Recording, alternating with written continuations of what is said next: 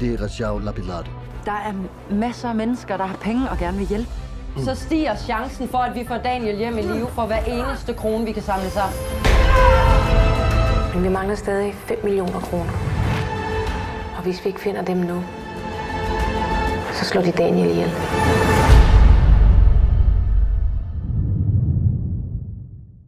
Well, thank you for talking to me today about Held for Ransom. What a powerful film. Uh, true story of Danish photographer Daniel Rye held hostage for 398 days in Syria by ISIS. Were there concerns for accepting such a role with such an intensity?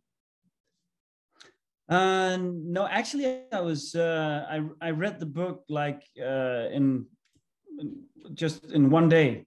I started reading it and I couldn't finish, so I I dropped sleeping and then just read it.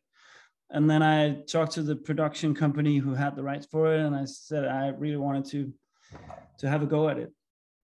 And then they let me, and uh, I got it, and I was just so into it. I just wanted to do it.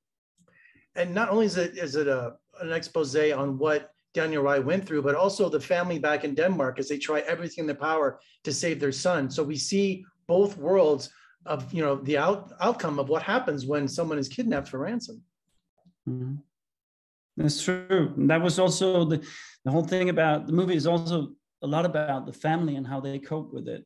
And I could, as a family man myself, I could really relate to that. And I think a lot of people can. So yeah. and and Daniel befriends James Foley, an American journalist. For you as an actor, was there a special bond between you and the actor playing James Foley? Yeah, I mean, I mean, for all of us who were there in that room playing uh, the hostages, was it was a, a a tight relationship that came out of that. And I still I still talk to Daniel today, and we're good friends. So that continues. And as an actor, did you incorporate any method acting to your performances, or because there were some intense scenes that you had to go through? Did you prepare yourself in a different way, or did you just were you able just to turn on a performance?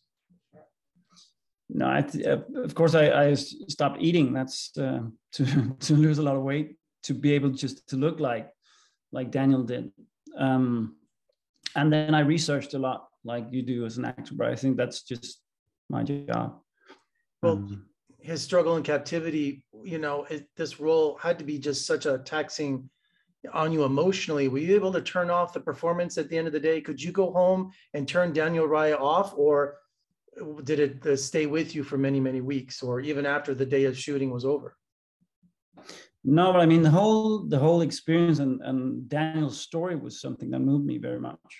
Um, but when we're shooting, we're shooting, and I'm a professional, so so that's it was just we're doing it and we're in it, and then you, you don't take it home with you like that. But our shooting days were quite intense. So and we shot in in Denmark and in Sweden and in Jordan and and, and for an actor when you saw those sets you know to see what daniel went through um, what was your first reaction when did you see that as it was happening or did you see it for the first time when you got on set?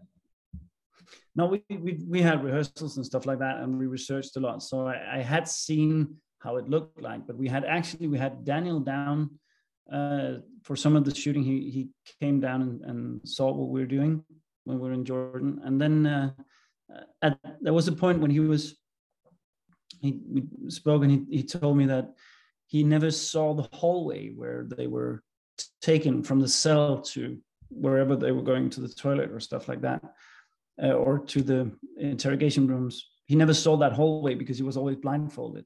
So now he could stand and watch the hallway or and that was a big thing for him to watch that.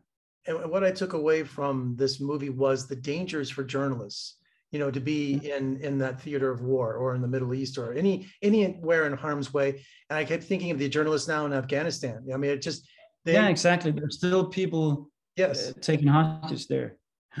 yeah, so this this movie is very relevant even today, and just it shows the courage that these journalists have to get the truth out and the risks they take. And your performance exactly. Just, I think that's one of the big themes about it that that makes it that makes it you have to watch this because it's important to know because people are going out there, journalists are going out there risking their lives to let us hear what's going on in the world.